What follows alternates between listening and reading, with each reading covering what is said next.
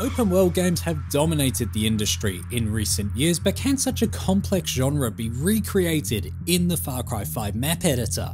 Well, creators from all around the world have done exactly that, and today I'm going to showcase 10 of the best open world maps, along with a short review. Now a quick reminder that all the feedback in this video is purely subjective, and I'd like to thank everyone who's taken part, even if your map doesn't feature in the top 10. Now be sure to stick around to the end because as teased for many weeks now, there are some huge announcements in this video. They include a rename of my YouTube channel, the launch of our official Discord server, and huge changes to how you submit maps for this series along with the next theme announcement. But in no particular order, let's check out the top 10 open world maps made in the Far Cry 5 arcade. The first map today is Goji Desert by Toaster Weevil, and we are starting off strong today because this map is an absolute masterpiece. It's got huge Mad Max vibes as you explore a wasteland for four different targets. And it may be a desert, but it is teeming with life and stories around every single corner. The first thing I like about this map is the visuals, which strike you right away. And the thing I like is not just the authenticity, it is the best desert I have seen in the editor, but it's also the variety as well, with valleys, caves, and so many tiny little details, both in the open world and in the interiors as well. The second thing I really enjoy is the enemy variety and placement. You've got standard enemies all the way up to RPG guys, and the environment reflects those classes as well. So for example, the guys with flamethrowers are often environments surrounded by burnt buildings, so there's a lot of logical placement done on this map. And the third thing I really like is that there's many gameplay approaches on this map, including some which lure you into a trap. So for example, I ziplined into a cave thinking it was going to lead to a stealthy approach, only to find out it had a cougar inside which I shot, and then quickly alerted the enemies above. It constantly keeps you on your toes. Things to improve on this map are really hard to think of, but one thing that did stand out to me was the amount of dogs on the map. Now they are tied to specific areas so they're not actually much of a threat, but the barking they produce is absolutely insane at times. It makes it very difficult to hear anything else. The thing I love most about this map though is the fact there's no health regeneration and it means that the relationship between you and the map is constantly changing. You go from the hunter to the hunted in a blink of an eye. And it means that you have to ask yourself every little question. Do I risk entering that building?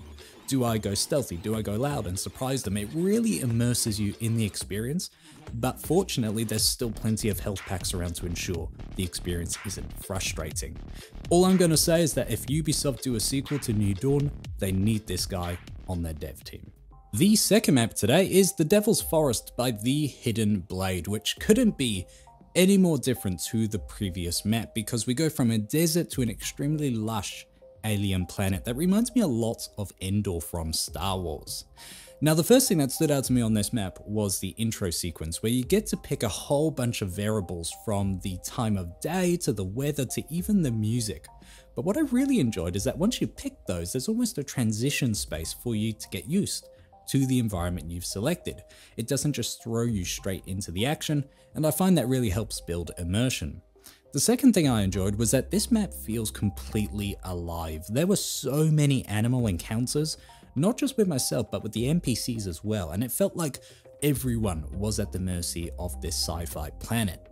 There are two things I would like to see improved. The first one is some of the terrain work, which is a bit rough around the edges, especially near the main road where you can see how it's been carved out from the surrounding terrain.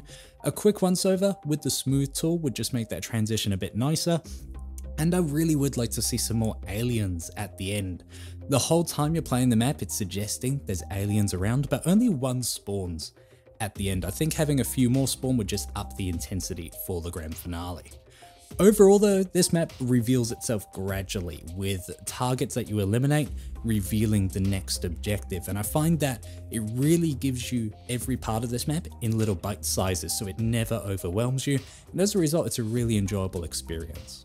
The third map today is Dying Hope by Harry Poteet, which takes you to an island city that reminds me a lot of the Dying Light world with a strong emphasis on verticality.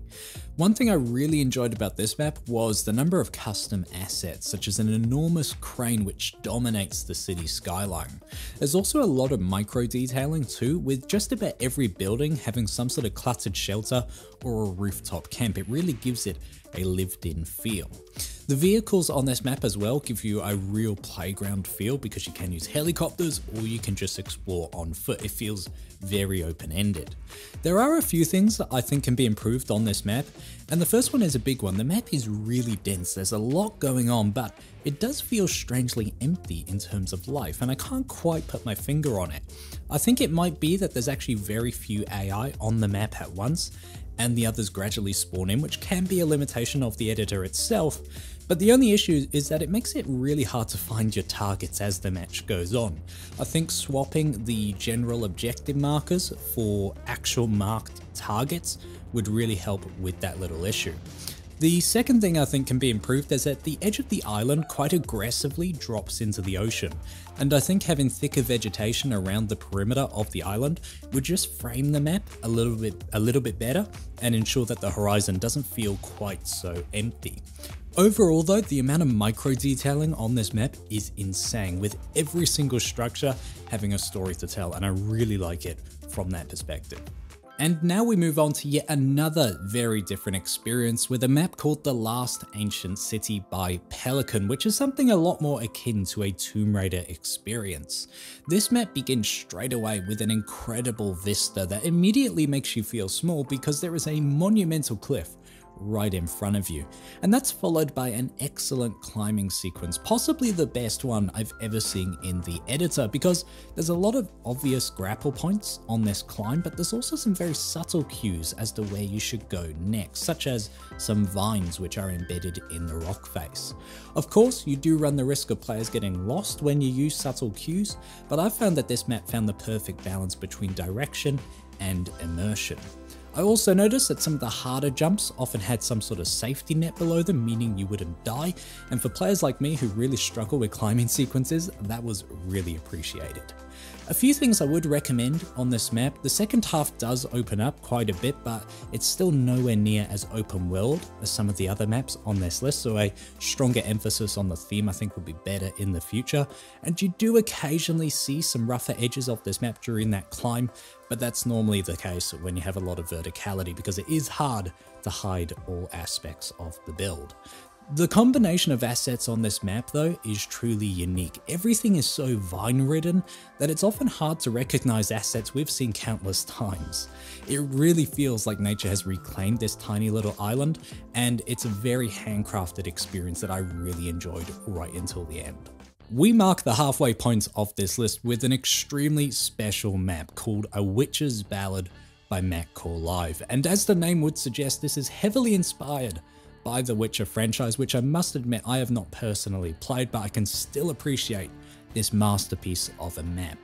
The first thing that hits you right as you spawn in is that this map is gorgeous. Some of the natural areas can look a bit on the bare side at the start, but the built areas are absolutely incredible, such as the village which looks even better at night, or the castle which is largely custom made and features an incredible main hall. And of course, there's a small easter egg here and there if you are willing to climb. The scripting on this map is also amazing. There is so much choice and consequence, with completely different endings based on your decisions. This map can be as short or as long as you want it to be, and there's a whole range of activities to keep you busy if you want them. I also loved the sense of passing time on this map, which made the map feel like a game in itself, rather than just a short experience.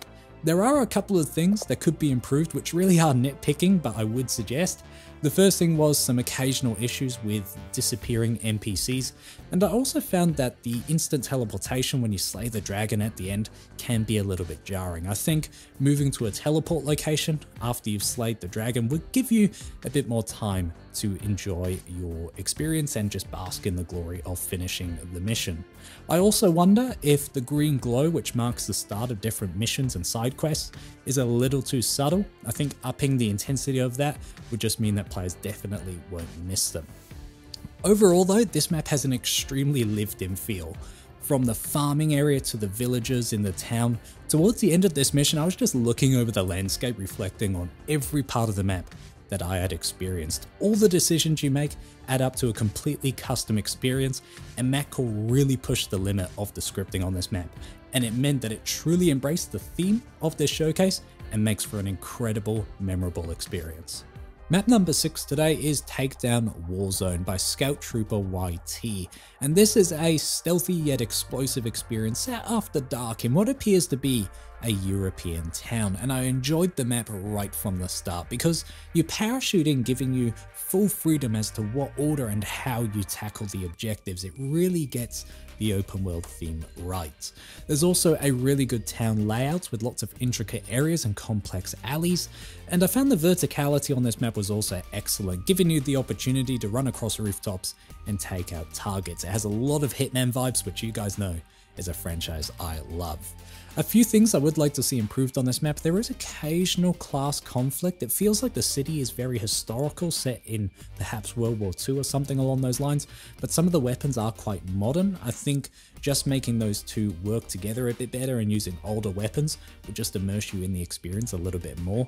And some of the streets do look a fraction bare at times. I think having more clutter on them would just make areas between the main objectives feel a bit more interesting. The thing that was most interesting and impressive about this map though were the custom buildings, which were impressive not just because they blended in with the surrounding structures, which is something so hard to do, but they are destructible as well, which really makes the objectives interesting and fun to tackle. The next map is Assassin's Valley by the creator's name who I can never pronounce, you can see it on screen with some text. But this is an expansive desert landscape filled with subterranean secrets and a heap of sandbox opportunities.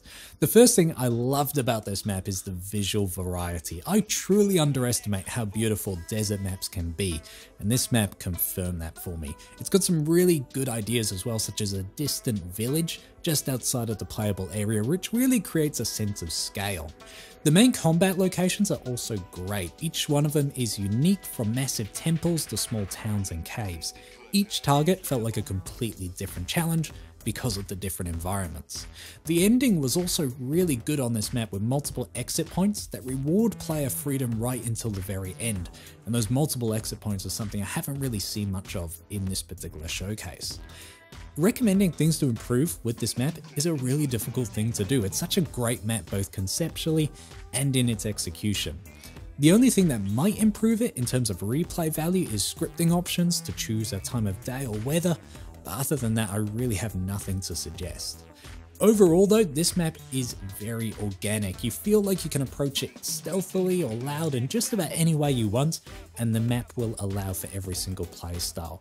At the same time though, it all feels very authentic, very believable, and is such an enjoyable experience to play through.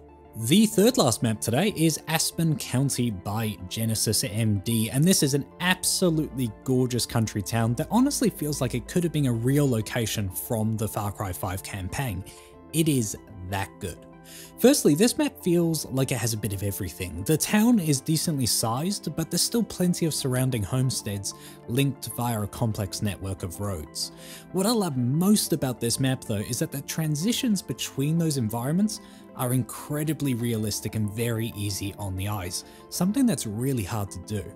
There's also options over the world effects such as time of day and weather, and I found it interesting that these are placed in the town itself rather than presented to you right at the start of the mission. I do worry some players might miss these options as you do stumble across them, but at the same time I appreciate how the map is given to the players in a certain condition and they're not forced to customize everything right from the get-go. The classes and vehicles also allow plenty of room for different playstyles to keep you coming back again and again. In terms of recommendations for this map, I do find that it's a little obvious just how much the creator has used every inch of the map editing canvas, with key locations and roads often being right next to the edge of the playable area. That said, he has done a very good job of masking those boundaries, and I do think it was a worthy sacrifice for just how expansive and beautiful this map is. The town area itself does look incredibly clean as well. I don't feel that the place needs to look trashed, but the occasional piece of rubbish on the main street would just break up the repetition on the eyes. I do suspect though that there isn't much budget left to play with on this map. Overall, everything on this map feels handcrafted. Each homestead is unique, down to the smallest of details, and I actively looked around the map to try and find where the creator had taken shortcuts, but I couldn't find any area that wasn't given an immense amount of detail. You can see the love and time the creator has put into this map. The penultimate map today is Three Kings, which is a very different experience that has you hunting targets throughout a flood-ridden world. And the water is the first thing I want to talk about because it's a very different concept and it gives this map a very different vibe to every other one on this list. It's also forced me to use mechanics that I haven't touched since playing the single player campaign, like using water as a stealthy way of moving around. There's also a lot of interior detail too, such as the addition of grapple hooks to some of the larger structures, and I really appreciated that as someone who's always struggled to navigate some of the more industrial assets. The finishing point is also in the sky, but there's some really good design here, because he's placed helicopters at every single objective, so you're not punished for tackling each objective in any order you want. A few recommendations, I do find the look of this map feels a bit strange, the islands are very exposed and it can look quite unrealistic from the sky. Perhaps making it look more like a swamp would just add a bit more immersion, and some of the terrain is also a little rough around the edges, especially from the bird's eye view. Once again, I think the swamp look would help mask some of those rougher edges, and a quick once over with the smooth tool will also help. The thing I really liked about this map though was just the different gameplay. I've already mentioned the water and the quirks that come with that, but there's also some other really cool aspects like mortars, which you just don't see that often in a lot of arcade maps. So this map makes you experience the Far Cry game in a very different way and just draws attention to different mechanics which are often forgotten, and I really appreciated that. And we finish up today with Fallout 3 by Oyster Wallet, and I believe this is one of the best maps not only on today's list, but in the Far Cry arcade full stop. And that's coming from someone who has never really played Fallout 3 because I really struggle with the franchise, and that was immediately evident on this map because I instantly threw away my only weapon, I broke the scripting and somehow managed to drown in a national monument. Yet despite all of that, I still loved this map. The first thing I really enjoyed is that it's Fallout through and through. There's an incredible incredible apocalyptic vista, and a mixture of human and mutant NPCs to keep things interesting. There's also some great key locations. The incredible main town is something I was able to recognize even though I've seen very little of Fallout 3. The remake is that well done. And the interiors are something special too. These are some of the most convincing custom structures I've ever seen in the arcade, even though they are falling apart. And every inch of this world is just thriving with detail and story. It's a true experience to explore. The only downside to this map is that I did somehow break the scripting. Every time I went to sleep on this map, I would no longer receive any more waypoints as to what to do next, and that was really frustrating because I wanted to see every corner of this map. That said, I did still explore even without official objectives, and this map does have really good ratings, so I am suspecting it was something I personally was doing wrong with the scripting. Overall though, this map, you don't just play through it, you exist in the world. And the build quality is that fantastic that I wouldn't be surprised if Microsoft came along and bought this one too. So there you have it, the top 10 open world maps as created by you guys. Now you can see even more of the submissions on screen right now. And as always, I'd like to thank everybody for your support, especially of this particular showcase, because I was really unorganized when we first announced this theme, which is quite uncharacteristic of me. But I really appreciate everyone who reached out to me, let me know that the initial deadline was too small, and I definitely appreciated that upon reflection. So thank you for working with me. This is a collaboration effort, and you guys, as I always say, make this series possible, so once again, I thank you. But now it's time for those massive announcements that I've been teasing for weeks. Firstly, this channel is going to be renamed. That's right, on November 1st, 2020, I'll be changing my YouTube name from Sam Plays to Sam Builds. Now, I'm not going to bore you with all the reasons for that decision, but long story short, I feel it's just a bit more distinctive and better reflects what we actually do here on the channel. Now, I'm going to post a heap of reminders leading up to the name change, and you guys don't need to resubscribe or anything, just remember that I'll be known as Sam Builds from November 1st, 2020. Then the second announcement is the real exciting one. As of publishing this video, the Sam Builds Discord server is live. As you would have noticed, I've already embraced the new name there over on Discord, and I'm so excited to finally give you guys this because you've been requesting it for years. Now, I want this server to be a home for anyone that loves the creative side of gaming, and as a result, it's got a whole range of sections where you can post your Far Cry maps, you can request collaboration partners, you can ask for technical help, and of course more practical information as well, such as how you can actually join myself and other players in the Far Cry game. And that brings us to the third and perhaps the most important announcement, which is that this particular series, the Community Creation Series, will now be run through Discord. So that means that there will no longer be theme announcement videos. Instead, you'll be posting your map details on a dedicated channel on the SamBuilds Discord server. Now submissions are already open for the Far Cry 6 themed showcase, which will be closing on November 7th. So please head over to the Discord and get familiar with the platform if you do want to continue to take part, not only in that showcase, but in the series moving forward. I know this is quite a big change and I want to make it as easy as possible for you guys and it is really easy. I've got the whole process explained under the rules and FAQ channel on Discord so please go over there and have a read if you find any of this a touch confusing. And I should emphasize that while map submissions will now be done through Discord, the final showcase video like we've done today will still be uploaded on YouTube as per normal. And of course, if you read through all of that and things are still a little bit on the hazy side, I can do a dedicated video talking you through the new process. Let me know if you guys feel that's something that's needed. I know all these changes are a lot to take in, but I think all of them are going to be great for the future of the channel. The name change will help me stand out a little more here on YouTube. The Discord server adds a whole new dimension to our community, and moving the map submissions also to Discord for this particular series will make things far more organized and give me more time to make actual videos rather than just theme announcements. Finally, I'd like to thank a very small group of people who have been helping me build the server for the past month, especially Callum and Hyena, who have set up some pretty crucial bots that were really important to make everything functional. As with most things on this channel, it's a team effort and it wouldn't have been possible without those guys. So a huge shout out and thank you to them. So head on over to the Discord server. It will be linked in the description below. But in the meantime, that has been the top 10 open world maps as created by you guys. Hey everyone, thanks for making it to the end of the video. If you enjoyed it, please don't forget to like, comment and subscribe as those simple actions have a huge positive impact on a small channel like mine. Be sure to check out our Xbox Club in the description below and on the screen right now you can see some of my other videos that I think you will really enjoy. Cheers!